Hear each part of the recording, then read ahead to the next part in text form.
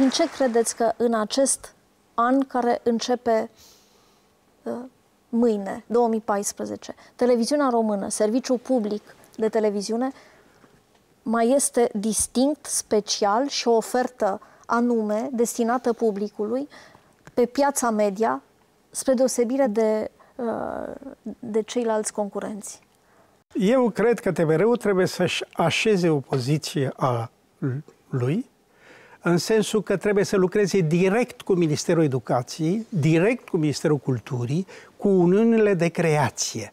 Eu vreau să fac pentru tine uh, Partidul Părinților, 7 milioane de tați și mame, iată să-ți ofer serviciul ăsta. Ministerul Educației, fără asta nu se poate lucra. 20% din populația muncitoare a lumii, din forța de muncă a lumii, înseamnă dascălii. Nu se poate să nu stai de vreo cu cancelaria profesorilor.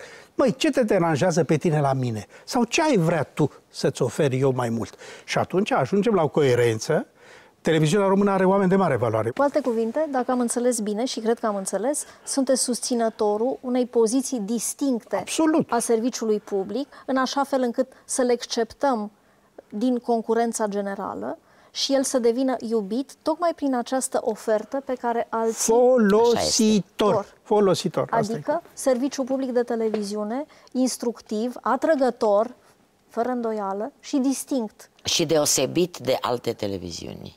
Asta ne va face, bănuiesc, totdeauna lipsiți de nostalgie și de resentimente și vă va face, probabil, și, și pe dumneavoastră și pe toți cei care ne urmăresc, să nu spunem niciodată că înainte de noi vedetele au fost altfel, oamenii au fost mai buni, timpurile au fost mai bune.